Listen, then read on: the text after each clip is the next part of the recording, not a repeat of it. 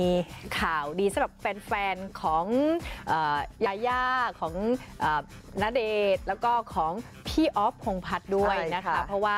ได้เตรียมมีความคืบหน้าแล้วนะคะสำหรับละครเรื่องลายกินรี เมื่อวานนี้ฝนก็ไปเกาะติดวงในเลยนะคะ ใช่ค่ะสำหรับการฟิตติ้งละครเรื่องลายกินนารีนะคะ แล้วก็เป็นครั้งแรกด้วยค่ะที่พี่อ๊อฟพงษ์พัฒน์นะคะ กลับเข้ากองละครค่ะ หลังจากที่พี่อ๊อฟเนี่ยป่วยด้วยโรคหลอดเลือดสมองมาเป็นเวลา 1 ปีนิดๆแล้วก็รักษาตัวนะคะค่ะโดยพี่อ๊อฟมาในฐานะผู้กำกับของละครเรื่องนี้ค่ะ นี่ก็มาเข้ากองในช่วงบ่ายเพราะว่าช่วงเช้าต้องไปทำกายภาพบำบัดก่อนอ๋อค่ะมาถึงก็มานั่งดูมอนิเตอร์ ดูมุมภาพต่างๆนะคะค่ะเพราะว่าการฟิตติ้งครั้งนี้เนี่ยมีการนำกล้องมาใหม่ถึง 3 ตัวนี่ค่ะที่เห็น แล้วก็มีพระนางณเดชน์ญาญ่าแล้วก็นักแสดงมาฟิตติ้งร่วม 20 คนเลยทีเดียวค่ะ โอ้ งานนี้นะคะ ผู้จัดพี่แดงธัญญาแล้วก็เหล่านักแสดงก็ยังได้เซอร์ไพรส์วันเกิดย้อนหลังให้พี่ออฟค่ะ อ๋อ ที่มีวันคล้ายวันเกิดอายุ 58 ปีไปเมื่อวันที่ 2 กันยายนนะคะ แล้วก็มีการมอบกระเช้าจากทางช่อง 3 ค่ะ เดี๋ยวเราไปดูบรรยากาศ แล้วก็ความรู้สึกของพี่ออฟถึงการกลับเข้ากองอีกครั้ง แล้วก็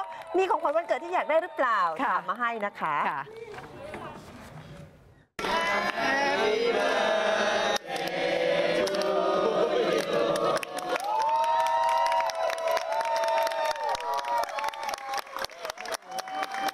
วันเกิดแล้ววันเกิดอีกจัดไรจัดอีกอะไรนักหนาก็ไม่รู้เออแต่ก็ขอบคุณครับ วันเนี้ยแบบทุกคนแบบตื่นเต้นกันมากเลยเพราะว่ามันจางหายกันไปนานปีหนึ่งมันเลยรู้สึกแบบเออเราไม่ได้ทำงานมาเป็นปีอะมันแบครับบ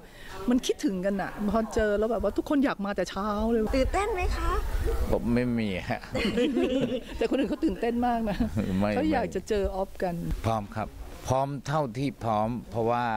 เรามีองค์ประกอบอื่นอีกนะถามถึงของขวัญวันเกิดที่อยากได้ในวันเกิดอายุ นำร่องแล้ว58นำร่องค่ะ อันนี้ขอเฟดตัวแบบนี้นะคะ ของขวัญของขวัญได้ทุกวันอยู่แล้วแม่ความรักความรักความรักแม่เมียให้ทุกวันอยู่แล้วเออสิ่งของไม่ต้องการแล้ว ไม่เอาแล้วสะสมอะไร ไม่เอาไม่เอาแล้ว แล้วแต่จะให้ แล้วแต่จะให้ แล้วแต่จะให้แย่